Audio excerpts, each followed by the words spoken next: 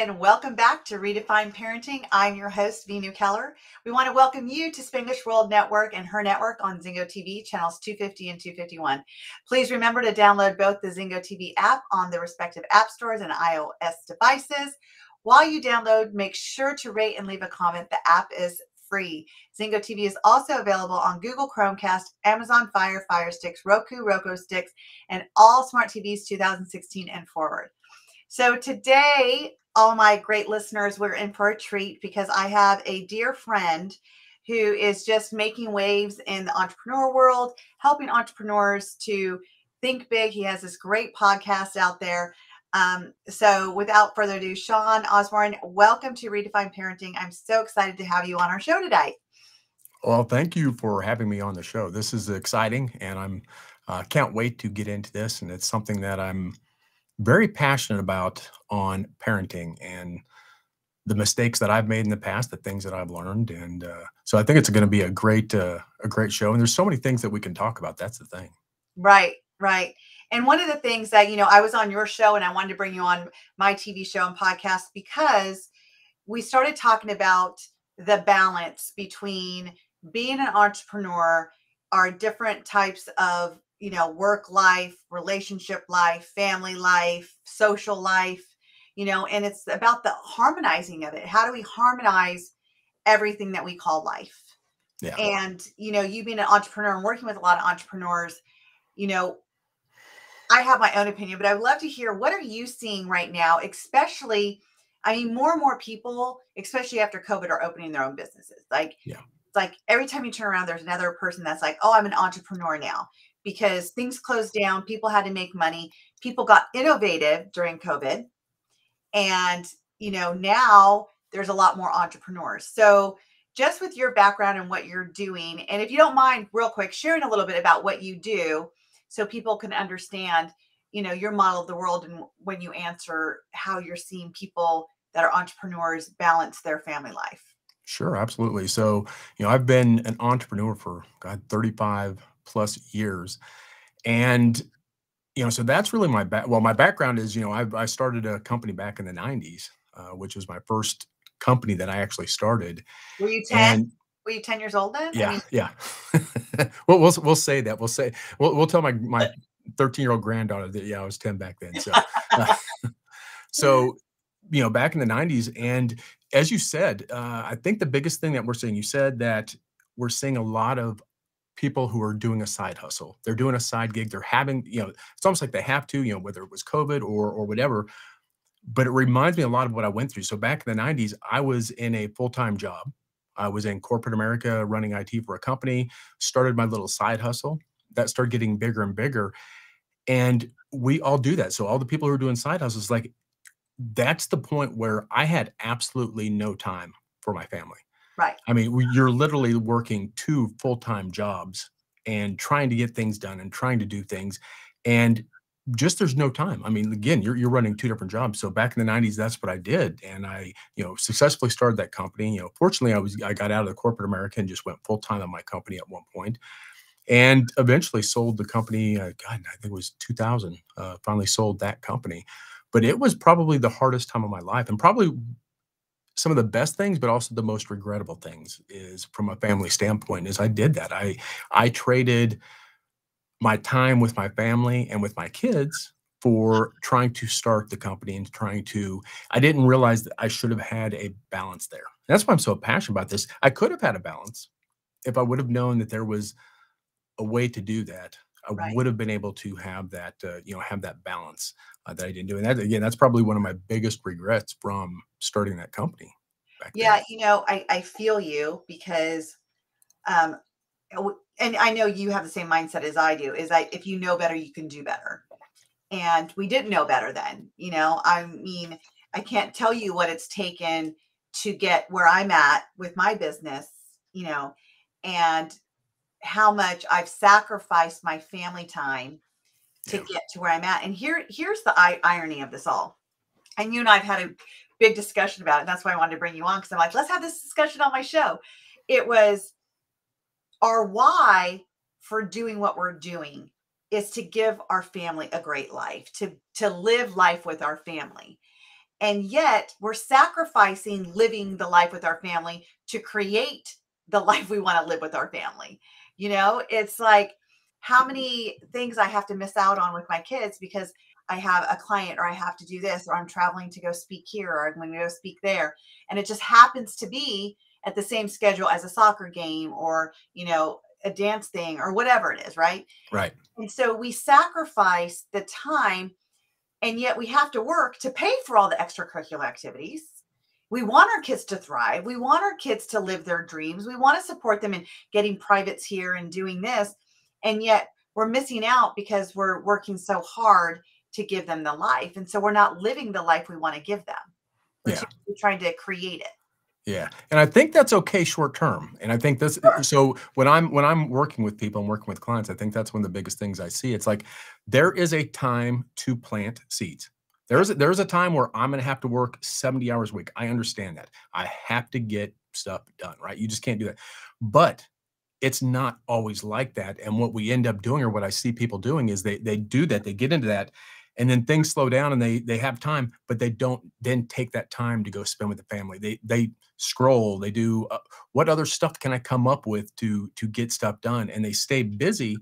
Again, there, there's times that we have to. I understand. As an any entrepreneur, I don't care what career you're, what what business you're in. There's a time you gotta put your head down and you got to work but there's a time that you don't and you got to make sure you spend that time with your family and you put that first I agree. And you know, one of the strategies that I use to get used to that, because you're right, it's we get so comfortable with busy that when we're not busy, we're like, what am I missing? What am I not doing? I was just talking to my one of my clients about that the other day, is that she's always trying to find busy work to do because if she's not busy, she doesn't know what to do with herself. She feels like something. and I said, I get that. And she, of course, she's the entrepreneur, so is her husband. And so I said, why don't you start doing this? Start scheduling it. You know, you put everything else in your calendar. I said, do you follow your calendar? She goes, absolutely. Whatever's on my calendar is what I'm going to do. I said, start scheduling it. Schedule your dinner from five to seven. That's your time with your kids, you know? And um, I even started scheduling like, you know, lunchtime, like from 11:30 to 1. If my husband's home, that's my time with my husband. We'll go to lunch. We'll go run an errand together. And now I don't have to schedule it because it's almost like if I'm not doing it, I feel like I'm missing something. right And so I had to train my brain to not be busy in my work and be busy in my life. And that's the shift. yeah yeah one of, so one of the things that i do with uh, with a lot of my clients especially first on is i teach them how to win their day before it begins win their week before it begins win their month before it begins then win their year before it begins. And it's like every day and i still do this this is a remarkable tablet. Every day i put down my schedule. I write it down. I have my wide you know my open areas i have my blocked areas and every single day without without fail even on the weekends i mean it's kind of i guess there's kind of sickness there but even on the weekends i have stuff scheduled out because if i don't do that then my normal routine of well i'm just going to scroll on facebook or i'm just going to do this and i don't do those things so i think it's incredibly important at least until you get into the the habit like you of, of doing that that you have to schedule that out you have to do that Right. It's so funny you said that because my husband put a beautiful post the other day um, about, you know, um, how hard I work. And because I just bought myself a, my, my 50th birthday is coming up in August. And I just bought myself a, a car for my 50th birthday. And he put a beautiful post, which is just a tribute to how much I work for our family and how much our family really appreciates all that I do for us and everything. And um, it was like the afternoon, I was going downstairs so we can have our lunch. And he's like, You haven't been on Facebook yet. And I'm like, Well, that's an odd thing because you don't really go on Facebook. And, he, and I said, But no, I haven't been on Facebook. He's like, Huh. I said, Do you think I sit in my office all day and scroll on Facebook? I said, I've been too busy this morning to do Facebook. And I said, Do you want me to go on Facebook? And he's like, No, no, no, no, no, no, I'm not asking you to go on Facebook. I was just, I didn't realize that you weren't on Facebook all the time. like literally, I think this man thinks I'm on Facebook a lot and um, so I, I went on Facebook and I and I saw and I saw what he put, which was a beautiful tribute to me, and you know it was it was just really nice to be acknowledged from my husband like that. But the point is, is that my Facebook time I've learned is my downtime. So what I mean by that is if we're driving somewhere and he's driving and I'm in the passenger seat, I can take a nap or I'll scroll on Facebook. You know, if I have, if I'm at the doctor's office and I'm waiting to be seen, I'll scroll on Facebook. Like that's the my downtime busy that, that I have nothing to do. So that's when I use it for my social media. But I'm going to tell you, there was times again trying to be busy and not even with work, but I think a lot of us get stuck in that. So we're not seeing what's going on with their kids. We're not spending the time. We're watching a movie with them, but yet we're on their phone. Our body's there, but we're not there. Right. And we can't multitask. We think we can. Right. But we're not we're not present when we do that. Yeah, we're absolutely not present. Yeah, and so, you know, to me, I would rather be a producer on Facebook. Like I would rather be a content creator and not a content consumer. I think that's Oh, the big the the big difference is being a con- being a being a consumer of it or being a creator of it are two totally different things. but here and and I and I love that. I love love love that. You know, um, I just had the honor of speaking at an event last week, and Trent Shelton was there. And one of the things that he said resonated with me so much is that we don't need another role model. We need a real model. And what he meant by that is like think of the word role. You know, you have a role in the play. You have a role, you know, in your your business. And those roles are identified of what the expectation of who we're supposed to be in that moment. And I thought about that and it just landed with me because I'm like, that is so true.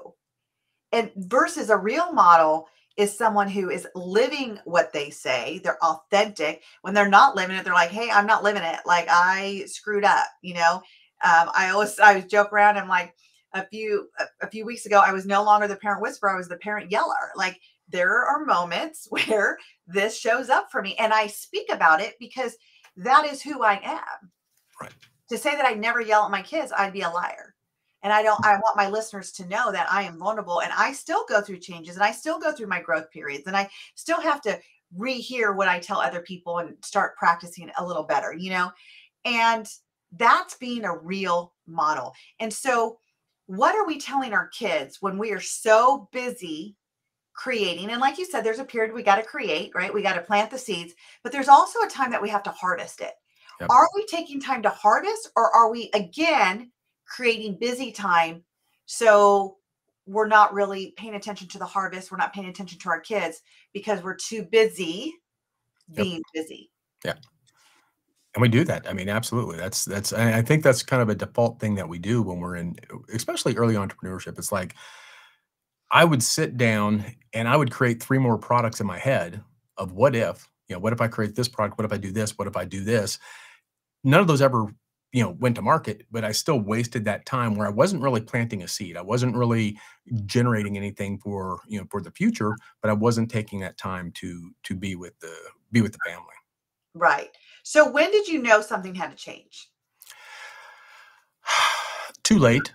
I mean, right so you know, it's like so we went through that that time, and again, this was back in in the '90s. So my kids were, you know, they were middle school, junior high, you know, time frame back then, and I wasted a lot of time doing that. and I think I really realized that once they were grown up, and once I actually started to develop. So when I started doing my own development, when I started getting uh, curious about myself and learning about mindset and learning about growth, that's when I realized, holy crap, I screwed up. I mean, there was things that I did that I well, let's let's say this. There was things that I didn't do with my kids that I wish so much that I had had the knowledge back then. You know, whether it was being uh, positive thinking, whether it was you know encouraging gratitude. Like I never encouraged my kids to have like a gratitude journal or to be grateful for things. To you know uh, encourage curiosity. You know, there's so many things that I know now being a mindset coach, being a mind you know performance coach, mindset performance coach. That man, had I done that, and they turned out great, but ha- again, I regret that. It's Like, had they had had I done those things that I know now, man, what would things be like now? You know, it's so funny you say that because I was just having a conversation with somebody the other day and how I look at because I'm like you, I have older kids that are 29 and 20, almost 25. And then I have almost uh, next week, my or yeah, next week my twins turn 11. So it's a big age gap, big, big age gap, right? And I look at the parent I am today versus the parent I was to my boys. And I look back and I was like, wow, like I am so I all I want to do is apologize to my boys. You know, but again, you only you only can do the best that you can with what you know and what you have. Yeah. And that's exactly what I did. And somebody said to me, they they said, but you were exactly the mom they needed in that moment. They needed you the way you were in that moment to be the men they are today. Yeah. And you know, yes, life has its ups and downs and they have their challenges and they have their growth periods, but I got into personal development when my oldest was 13 and the other one was 8, I think, turning 8. And so I started to realize that I didn't even know about gratitude. So once I was able to learn it, I started implementing it on them. Now, now our twins know the Ho'oponopono prayer, the uh, uh the 10 words. I'm sorry, please forgive me, I love you, thank you. They say it every day since they were 3 years old. That is their nightly prayer. And then we say, what are you grateful for? We started this at the age of 3 with them. Imagine what that does doing it every day like even when my husband and i are off at an event working an event or something they will call us just to do the ho'oponopono prayer and tell us what they're grateful for. They taught it to my in-laws they taught it to my mom. It's like the ripple effect from kids when we take the time to teach them. And i love what you said it's not even about us being present with them hours on end but it's what are we teaching them? What are we mm-hmm. installing? What are the values that we are getting to install in our children? And when we know better, we do better. And, you know, for my listeners out there, that's exactly why Sean and I are here tonight to help you take an inventory of what are you not doing because you didn't know that if we can teach you tonight from this day forward it's going to be better without the regrets that you know sean you're saying like i have some regrets yeah. What I oh, sell. Yep. And and so and it's it, it's even simple things. It's like things that are that we say to our kids, the things that we sure they pick up everything around us. I mean, again, you know, we are programmed by the tribe by the time we're you know seven years old, whatever the beliefs were, whatever the, you know, we, we we understand that. But I remember once when I was a kid, and again my mom was it was out of love it was not out of you know trying to do anything but i remember one time we were in a crowd of people and uh, someone came up to talk to me and she said oh sean he's he's really shy and pushed me behind her and said oh he's shy he doesn't like to talk that right there is just it wasn't out of mouse it wasn't out of being but that right there put into my subconscious mind oh i'm shy I mm. don't want I don't get in front of people. I don't talk to people. So it's even simple things like that on on how we communicate with our kids and how we uh, interact with them uh, affects what they do uh, in the future. It affects how they how they are. You know, and I think so. Now I've got you know grandkids. My oldest grandkid is uh, she's 12, so I get to try doing these things that I didn't get to do with my kids. You know, I got her at a very young age. I got her a gratitude journal that she writes in every day. So so there's things that I'm able to do now uh, that I just didn't know then. So again, like you, if we can show parents that are in those earlier stages, you know, some of the mistakes that we did and they and they listen and they and they and they implement some of these things, it can really have a positive effect on their on their children. I like what you said though, and and you and that's a great distinction you made is that what your mom was saying to you, you took on as an identity that I am shy. And so again, what are we saying to our kids? What identity are they taking on at a young age? And it's so funny because I remember so my I have twins, boy and girl twin. And my one twin, when he was little, like my my daughter is me. Like she'll talk to anybody. How are you? Telling people I love you at the age of two. Every, we're walking down Walmart. She goes, I love you. I love you. I love you. And then her brother is like zipped at the lip, like nothing, like shy, like putting his head down, doesn't want to look at you. And so he would hear us tell people, oh, he's shy. Like we would make as if we had to make an excuse you know, right. like, oh, he's shy. And it's so funny because I look back at even that and I was like, why were we even labeling him shy? What if he just didn't want to talk to the person? And so as he got older, he's like, because I'm shy, because I'm shy. And he took on that identity as well. And so we don't even realize that some of the times that we're making excuses for our kids of their behavior in public, which no one's asking us, no one's even curious about it, but we're already putting it out there. We are helping them develop an identity yeah. based around it.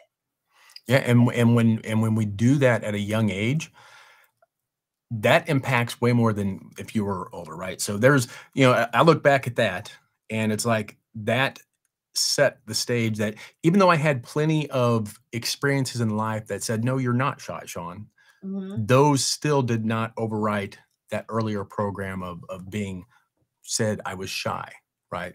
I mean, I'll, I'll be honest with you, 10 years ago, before I got into, uh, 12 years ago, before I got into personal development, we would not be doing this. Oh, yeah. I would not be on a podcast. I would not be on stages. I would, you at 12 years ago, if you said, Sean, are you going to be on stages or are you going to be doing these types of, um, hell no, that was not me. I was shy. So it, again, it affected me for a long time. Mm-hmm. And it's funny because there was times that I wanted to be shy. Like I wanted to not be the loud one, the one that just everyone sees. And, you know, there are times of that. And still I have this like brand that I grew up with, like, oh, Vini will do it. Vini's loud. Vini will do it. So if you would have told me 12 years ago I'd be doing this, I'm like, I hope so. Tell me how. How can I get on a stage?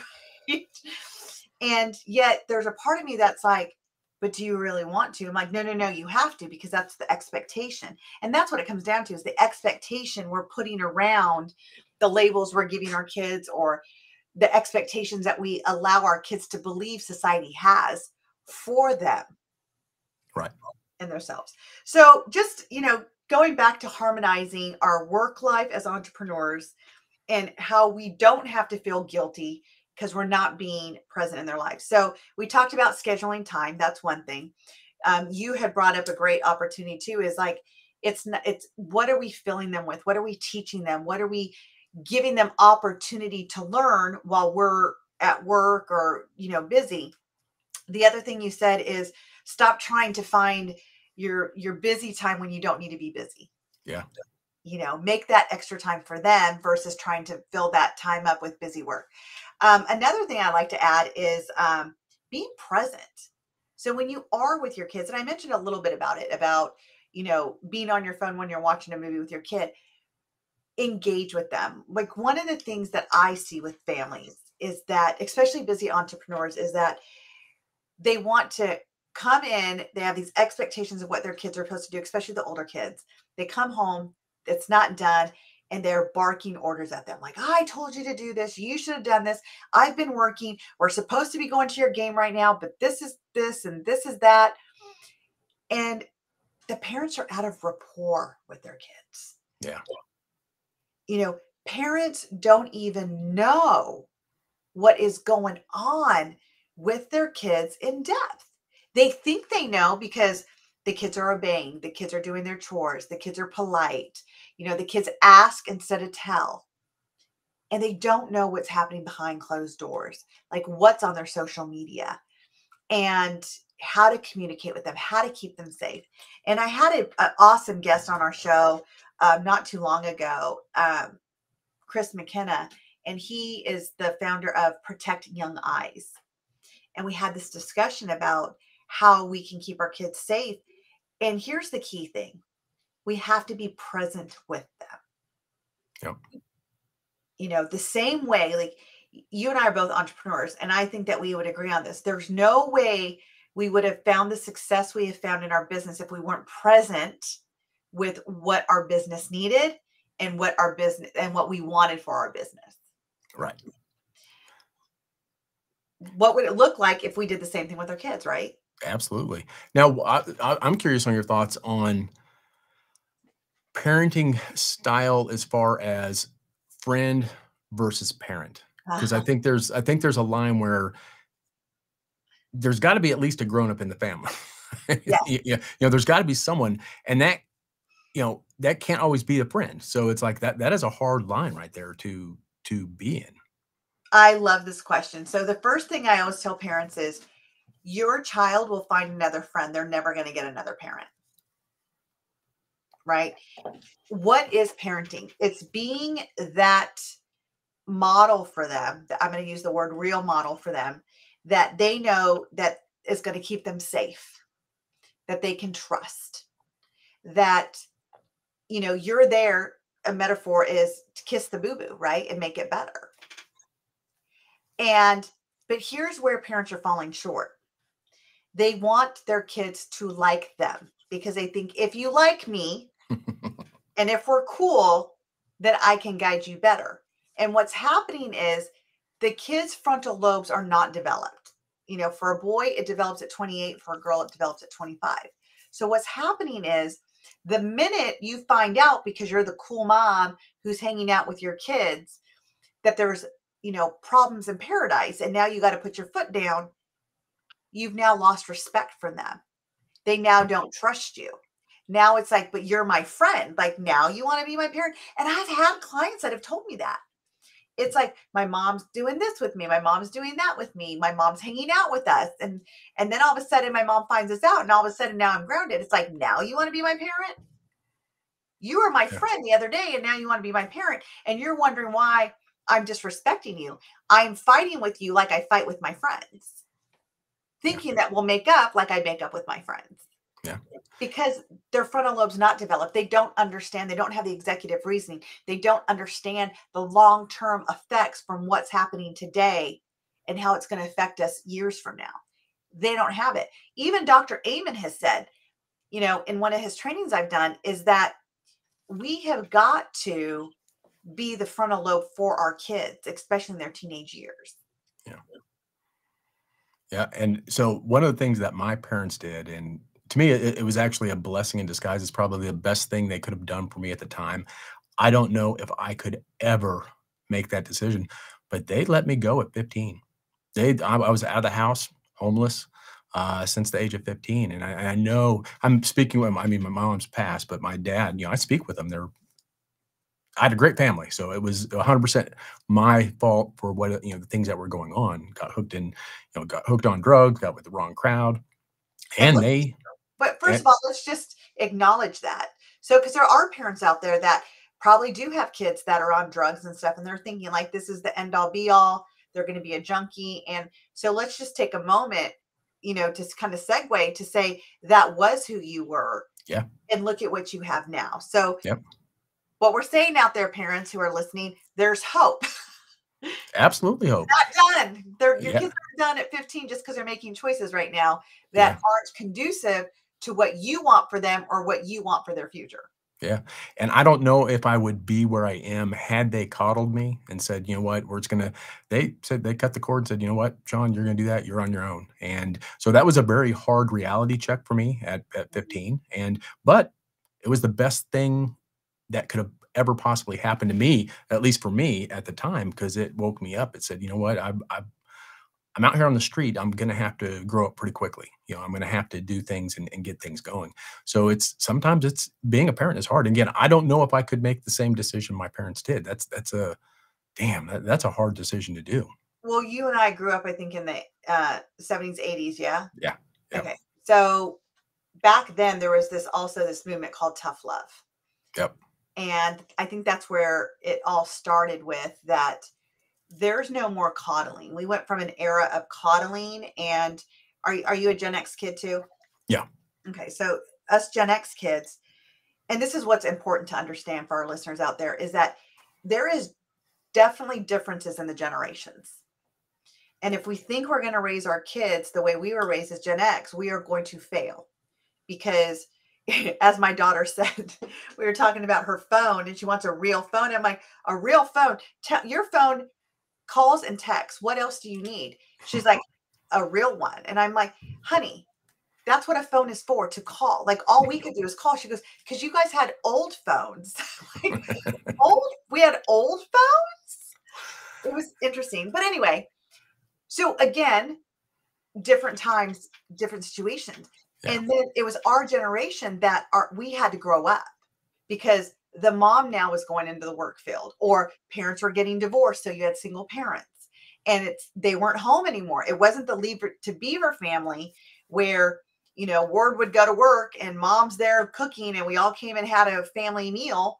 You know it was very rare. It was very rare to see that in growing up in the 80s and 90s And then that tough love movement came where it's we can't coddle because coddling them is keeping them in the problem. Right. And so it's time you cut that cord, cut the cord like your parents did. And now I think we've moved back into a generation of, oh gosh, especially the millennials, right? Oh, we got to do better for our, we got to hold our millennials. We got to treat them better. Like they can't have a life like us. We, they can't be grounded. They can't get hit. We can't do that. I know I, I raised my boys that way, you know, and um, because I have two millennial boys and I look at the entitlement now. The entitlement. And now we're going back to if they fall, be their cheerleader. Teach them by, you know, verbally teaching them how to get back up. Don't go and physically help them back up. Yep. Give them an opportunity to stand and walk on their own. Because uh, to me, if, if we don't, we're we're we're screwing them out of the opportunity to grow and learn. I, that's just how you know that's how I feel. It's a you're hundred percent right. And but again, you look at the Gen X kids and look at what we're doing now. Yeah. You know, a lot of us are entrepreneurs. A lot we are innovate. We're the innovative kids. We had to be. You know, I mean, it's when the computer came out. It's when, you know, when we were becoming adults, the internet came out. It was like we saw what was coming in. Like, I don't know about you, but I used to watch the Jetsons and I'd be like, talking to someone on a video, that would never happen. Hence, yeah. here we are today. yeah. You know, and robots. You, yeah. And now you said something I want to kind of go back to. You said something a little while ago because it's another one of the things that I probably regret or uh, something I've at least become aware of is, you know, and you said something in the thing of, of supporting their interests, you know, supporting what they do, supporting yeah. their ideas. And I know for me, I put my limiting beliefs on what was right or what was wrong my limiting beliefs on what I thought was possible was not possible on my kids. And I remember one, you know, my daughter, she was in high school and she came and said, I want to go to the cosmetology school. And for here, that's like vo-tech. That's like the vocational. It's like, no, you don't want to go to go do that. You don't want to do that. We we stopped her from doing that. We we we said, no, you're not going to do that. We didn't allow her to do that. And move up you know eight ten years later she owns a damn salon it's like so it's like had we listened to her would she be further ahead and it's like i i learned then that i can't put my limiting beliefs on what i think is right or what i think is wrong on my kids or my grandkids because they don't have the same lens they're not looking at the world the same way i am they're not programmed the same way i am so for me to say yes you can or no you can't uh, is really just my own limiting beliefs coming out. Right. I love that. And it's so funny that you you mentioned that because my mom, when I was, you know, getting done with high school and stuff, my mom's like, Well, what are you gonna do? And I'm like, I want to be, I want to do hair. And she goes, No, you don't. I said, Oh, yes, I do. I've always been good at doing hair. I still am good at doing hair. And she's like, No, there's no money in it. You're not gonna do my daughter is not gonna do this. Yep. And I'm like, Oh, okay well, I guess I'm going back to school for psychology because that's what I thought I wanted to do until I loved doing hair.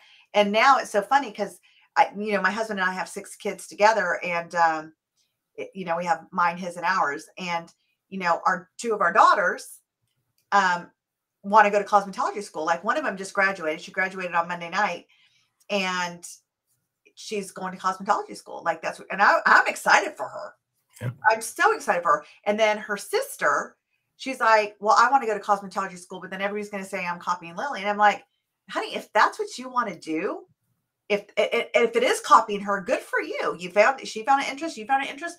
Maybe you guys will open up a salon together. You know, yeah. I mean, don't play small because someone's opinion makes you feel you need to. You yeah. know, and I agree with you. It's like let them flourish in whatever they want to do. My son says he's going to be in the World Cup. Okay, well, we're going to do whatever we can to support that. It may change in two years. Okay, then we'll change with you. You know, we're just here to be to guide you, to be that GPS for you, if you would. Yeah. You know, and I so I'm so glad you said that. Um, you know, I have my video program, Crack the Code to Parenting, and it, it's it's week two that I say you have to put your baggage down. you have to put your baggage down to raise your kids to see your kids through fresh lenses. Yeah.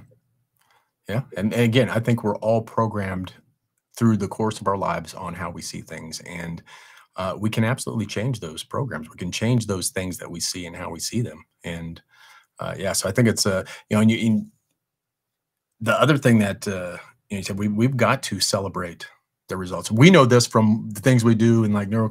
Right. We've got to celebrate our kids and let them celebrate. And God, there's just so many things that I wish I as I grow and I learn more, it's like, man, I wish I'd done these things, you know, long before.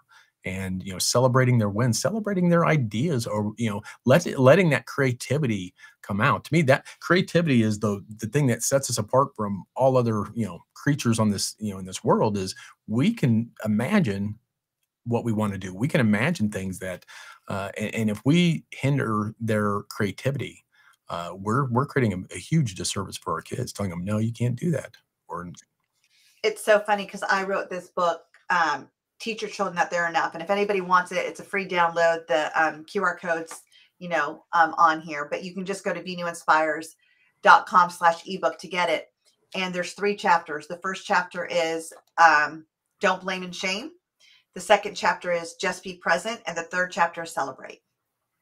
If you want to give your kids their self-worth and their self-esteem here here's here's the recipe for it. It's literally those three things. Don't blame and shame them.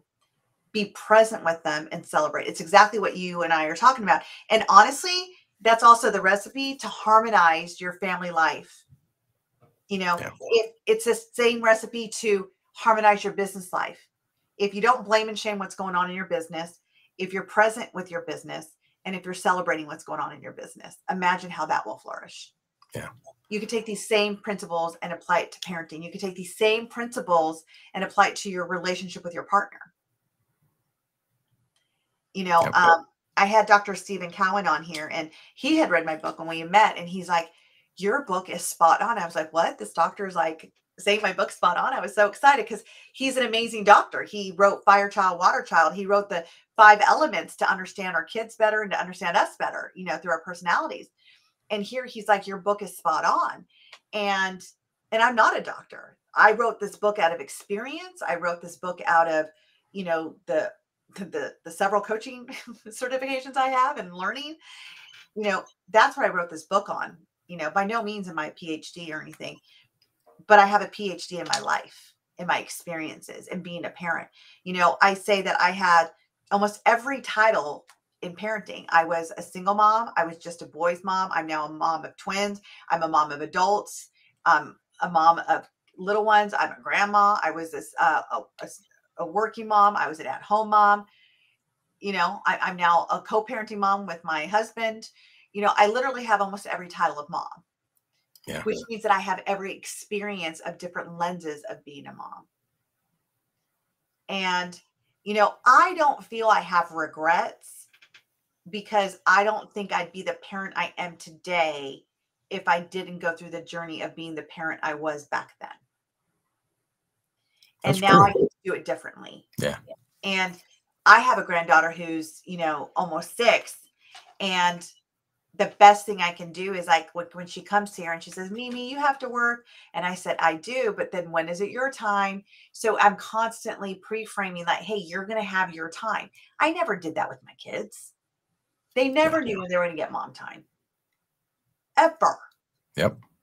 So it's again letting our kids know you are worth it. And I tell this to the entrepreneurs I work with because most of my clients are entrepreneurs. I said, your kids don't need eight hours because you put eight hours into your job. If you gave them 15 minutes of 100% presence, communication, effective communication, where you're listening and you're sharing and you have that pitch and catch conversation with them, they will never know if you spent eight hours with them or if you spent 15 minutes with them because it's the quality of the time that you gave them versus the quantity of time you gave them. Yeah. And the second thing is no kid wants eight hours with their parents. no, they don't. Nor grandkids. They, they, have had a few, and then they're they're they're on their own. I want to get your opinion actually on like mindfulness for kids, like you know whether it's meditation or yoga uh, to help kids manage stress nowadays? I mean, are you seeing that from a parenting standpoint? Uh, I am. I am. And that's such a great question because just like we need to find how do we de stress our life as entrepreneurs? How do we teach our kids? Because again, if we're modeling for them, then they need to, then they'll pick it up as well. And what I love, like my kids go to a private school and they bring yoga in there. You know, every once in a while they'll have a kids' yoga class which is great because it's practicing mindfulness. It's about getting your mind still.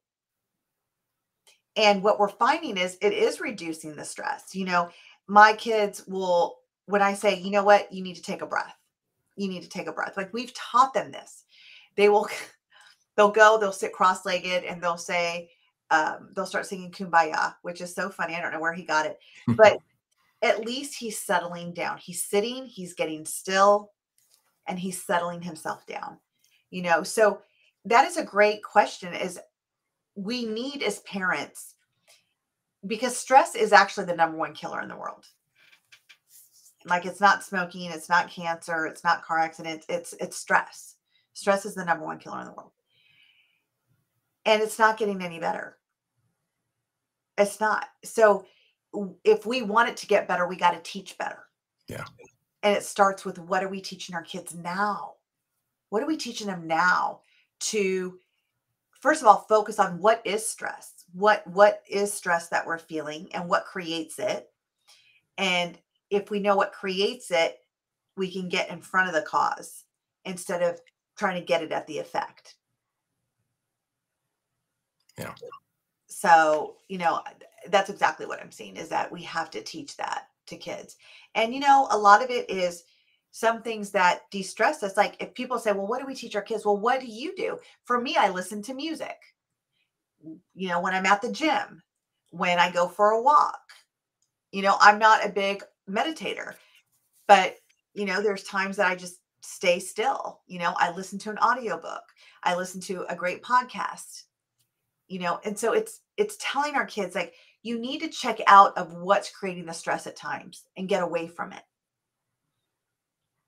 And yeah, and, yeah, I think so. And and going back to kind of the entrepreneur stuff, you know, I think at least I'm seeing more where it's more lenient for parents to be able to have their kids while they're doing side gigs, while they're at home, while they're like when when I was doing my company, it's like if you ever did any type of stuff, it's like kids were not allowed. It's like you Absolutely not. If we ever did, obviously we didn't have Zoom back then, but it's like kids would not be there. It's like you are that is that is an absolute no-no. Kids are not part of work. And, and I'm seeing more and more now where I'm working with clients, I'm working with, you know, uh, business owners, and they'll have their kids with them on Zoom. They'll be in the they'll be in the room, they'll be doing stuff. And it's like I think that's getting more and more open for you know where it's not taboo or you, you know it's not look you know it's not frowned upon where we can have our family participating in in some of the stuff that we we are doing.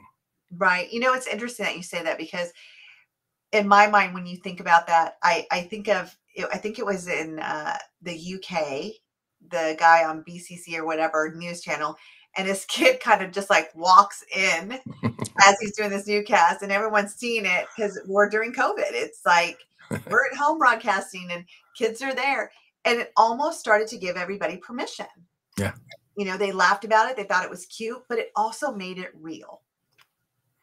You know, as much as I tell my kids, okay, I have my TV show today at eight o'clock, so stay downstairs. They come up and I hear things, and I was like, well, you know what? If they hear it, people know. Like, this is my house, this is my life. I got kids, you know, and it, it happens, and it's it's a part of our life. Today, I was coaching someone, and my husband comes in. He's like, I am so sorry, but I got this deep splinter in my my hand. I need you to get it out. And I told my client, I'm like, I am so sorry. Excuse me, please. Took out the uh, splinter and I'm like, okay, where were we? And she goes, oh my gosh, I just love you. I love how real you are. Yeah. you know, instead yep. and we're, I think bad, it's okay now. Yeah, it is. Instead yeah. of feeling bad, she's complimenting me because she gets to see the realness because this is this is where we're at this is you know but here's here's also what i'm finding and i'm curious what you're seeing too. A lot of entrepreneurs they're working out of their homes now. Absolutely. And and i think that's where it's going to go. And so here's one of the things that i wish that i had when i was in my entrepreneurship or the things back back then is i'm seeing a lot of people that are traveling with their family and going overseas they're doing all these traveling and they're being able to work while they're doing these things. And to me that is the most amazing thing that's happened with all this stuff since uh, i think it started happening obviously with covid and, and things you know being changed around but i wish like i wish i would have been able to have that when i was when i had young kids because to me if you want to be present with your family and you want to be present with your kids going on a trip to another country learning another culture being there doing that I don't think there's another way to get closer to your family and get closer to yourself because you're, I mean, again, if, if you never leave the US or you never leave wherever you are, it's like you're you're reading the same page every single day. And it's like I see these people that are able to do that. And I really envy and I look forward to seeing other people doing that same type of thing. Yeah, I love that. And I mean, because I do it. You know, if we have to go on a trip, I'll say, we got to go on a trip. And I try to just get my clients in the first two days so I have the rest of the vacation with them or I do it like first thing in the morning and then while my kids are sleeping and then we can go on out with our day, you know. Um, and it, and it's, it works beautifully. It, it, it's so great. Like, and my kids are year round school, so they're off for like three weeks in March. We always go see my mom because my mom's in Idaho. She's taking care of my grandma who has dementia. So my mom can't travel here anymore because she takes care of my grandma. And so we go visit her and my stepdad and we're there for three weeks. So my kids get like 21 days of just, you know, their nanny and their grandpa because we're there and I just work, you know, I, my coaching practice goes on. You know, um, I'm an instructor, so I still do my teachings on Fridays, you know, from my mom's house. And it's so beautiful to be able to do that with my kids, with my husband, being able to have the freedom to travel. Because I'm going to tell you, like, that's what freedom is. Yeah. Freedom is not being tied down not being yep. tied down by your bills, not being tied down by time, not being tied down by location. You know, it's the freedom to move, the freedom to be. So, um, so we're we're we're down to our last couple minutes. So, um, just to kind of tie a bow around this, um, if you could, you know, maybe give like your three top tips that you're giving to entrepreneurs that have families from the lessons that you've learned, what would you be telling people? I would think probably kind of I go on some of the top top three things one, model positive thinking, model creativity, model model the things that are possible, and don't don't ever teach daydreaming we all need to go and daydream as much as we can because that's where the creative process comes in. So let your kids daydream, be extremely positive if you can, and, and really promote and celebrate, you know, really to me, their results, not their efforts. I mean, excuse me, their efforts, not their results, because the efforts are what counts. Uh, their efforts into doing things are really what counts more than, to me, more than the results. And just being an encouraging, positive, parent and again i wish that they taught mindset and mindset development within schools that's probably one of the biggest things that i think is missing from our education is we don't teach people how to think we teach them what to think but we don't teach them how to think and i think by you being a, a mindful parent and you breathing into them and you let them be in creativity that is teaching them how to think a hundred percent, a hundred percent. And you know, um, Sean, I'm sure we can keep going on about different topics between entrepreneurs and, you know, the family. But I think, you know, I want to thank you for, you know, creating this conversation with me to help entrepreneurs because we both work with them and we both know that families are the core reason of why we do what we do. Mm-hmm. And we can't let go of that when we're just creating. You know, we have to be able to harvest the seeds that we've planted because everything in life has a season and a reason. Yeah. So thank you again for joining in. Thank you to my listeners for joining in on the conversation. Again, together we can give children a childhood they won't have to heal from. Again, one of the resources is my ebook. Their QR codes right here on screen with us, or you can go to my website, veenuinspires.com slash ebook for a free download of my ebook. Please get it to help your kids today share it with other people too, because it's a free resource that will cover exactly what Sean and I were talking about today, actually. This show can also be heard on Spanglish Radio Network. Please check out Spanglish uh, www.spanglishworld.ca for all your news and programming. Spanglish World, watch it, hear it, read it, download it, and live it.